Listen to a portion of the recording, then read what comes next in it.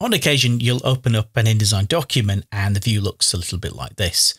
It's difficult to know where to begin editing and where on earth we are in the layout, especially if this is a document you haven't edited before. My suggestion would be head up to the View menu at the top of the screen and left click. As it suggests, there's a myriad of options to change the view of your artwork. One of them is Fit Page in Window. Left click on that and it gives you a clear holistic view of the page that you are looking at.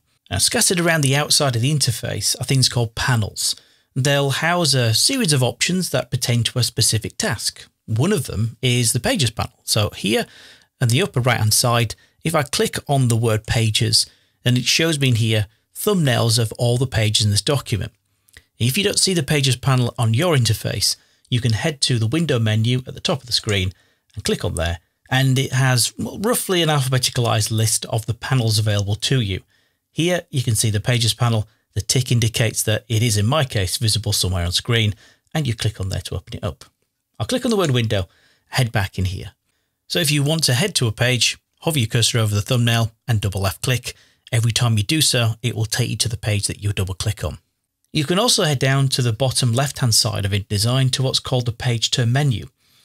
Choose the same thing, but here, if you click on the little pop-out menu, you're given a list of the page numbers that you can click on and jump to. And either side of that pop-out menu, you'll have a way that you can jump to the next page or to the last page.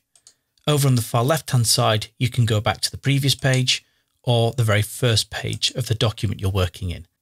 So in order to make edits to our document, use these features to get a clear view of your artwork and head to the right page that you need to edit.